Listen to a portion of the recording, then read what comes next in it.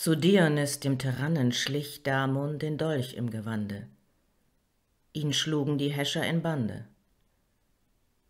Was wolltest du mit dem Dolche? Sprich, entgegnet ihm finster der Wüterich. Die Stadt vom Tyrannen befreien. Das sollst du am Kreuze bereuen. Ich bin, spricht jener, zu sterben bereit und bitte nicht um mein Leben. Doch willst du Gnade mir geben, ich flehe dich um drei Tage Zeit, bis ich die Schwester dem Gatten gefreit.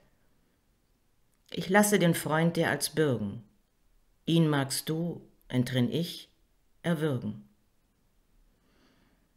Da lächelt der König mit arger List und spricht nach kurzem Bedenken, Drei Tage will ich dir schenken, doch wisse, wenn sie verstrichen die Frist, eh du zurück mir gegeben bist, so muss er statt deiner erblassen, doch dir ist die Strafe erlassen. Und er kommt zum Freunde. Der König gebeut, dass ich am Kreuz mit dem Leben bezahle das frevelnde Streben. Doch will er mir gönnen drei Tage Zeit, bis ich die Schwester dem Gatten gefreit. So bleib du dem König zum Pfande, bis ich komme zu lösen die Bande. Und schweigend umarmt ihn der treue Freund und liefert sich aus dem Tyrannen, der andere ziehet von dannen. Und ehe das dritte Morgenrot scheint, hat er schnell mit dem Gatten die Schwester vereint, eilt heim mit sorgender Seele, damit er die Frist nicht verfehle da gießt unendlicher Regen herab.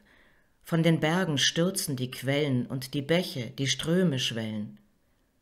Und er kommt ans Ufer mit wanderndem Stab, da reißet die Brücke der Strudel hinab, und donnernd sprengen die Wogen des Gewölbes krachenden Bogen. Und trostlos irrt er an Ufers Rand, wie weit er auch spähet und blicket und die Stimme, die Rufende schicket, da stößet kein Nachen vom sichern Strand, der entsetze an das gewünschte Land.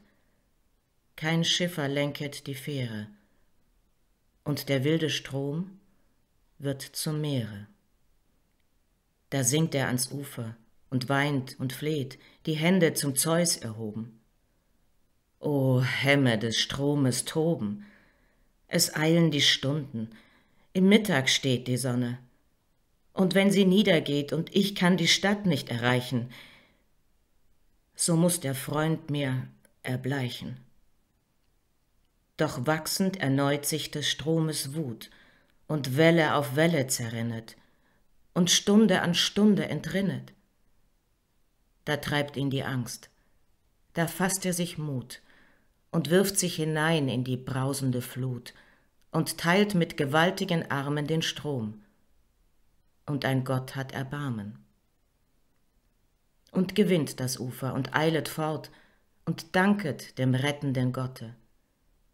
Da stürzet die raubende Rotte hervor aus des Waldes nächtlichem Ort, den Pfad ihn sperrend und schnaubet Mord und hemmet des Wanderers Eile mit drohend geschwungener Keule.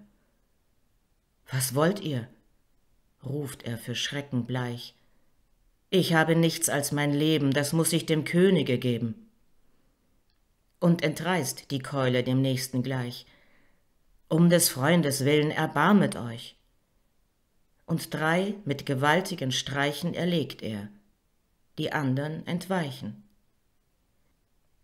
Und die Sonne versendet glühenden Brand, und von der unendlichen Mühe ermattet sinken die Knie. O hast du mich gnädig aus Räubers Hand, aus dem Strom mich gerettet ans heilige Land, und soll hier, verschmachtend verderben, und der Freund mir, der Liebende, sterben? Und horch, da sprudelt es silberhell, ganz nahe wie rieselndes Rauschen, und Stille hält er zu lauschen. Und sieh, aus dem Felsen geschwätzig schnell springt murmelnd hervor ein lebendiger Quell. Und freudig bückt er sich nieder und erfrischet die brennenden Glieder. Und die Sonne blickt durch der Zweige grün und malt auf den glänzenden Matten der Bäume gigantische Schatten. Und zwei Wanderer sieht er die Straße ziehen, will eilenden Laufes vorüberfliehen, da hört er die Worte sie sagen, Jetzt wird er ans Kreuz geschlagen. Und die Angst beflügelt den eilenden Fuß, ihn jagen der Sorge Qualen. Da schimmern in Abendrotsstrahlen von ferne die Zinnen von Syrakus, und entgegen kommt ihm Philostratus, des Hauses redlicher Hüter, der erkennet entsetzt den Gebieter. Zurück? Du rettest den Freund nicht mehr, so rette das eigene Leben. Den Tod erleidet er eben. Von Stunde zu Stunde gewartet er mit hoffender Seele der Wiederkehr. Ihm konnte den mutigen Glauben der Hohn des Tyrannen nicht rauben. Und ist es zu spät? Und kann ich ihm nicht ein Retter willkommen erscheinen, so soll mich der Tod ihm vereinen. Des rühme der blutge Tyrann sich nicht, dass der Freund dem Freunde gebrochen die Pflicht. Er schlachte der Opfer Zweie und glaube an Liebe und Treue. Und die Sonne geht unter, da steht er am Tor und sieht das Kreuz schon erhöhet, das die Menge gaffend umstehet. An dem Seile schon zieht man den Freund empor, da zertrennt er gewaltig den dichten Chor. Mich, Henker, ruft er, erwürget. Da bin ich, für den er gebürget. Und Erstaunen ergreifet das Volk umher, in den Armen liegen sich beide und weinen für Schmerzen und Freude. Da sieht man kein Auge tränenleer.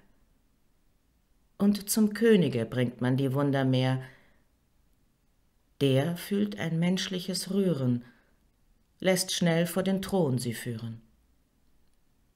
Und blicket sie lange verwundert an.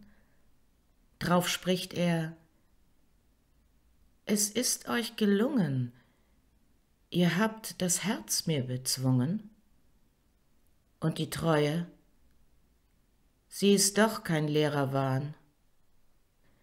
So nehmet auch mich zum Genossen an ich sei, gewährt mir die Bitte, in eurem Bunde der Dritte.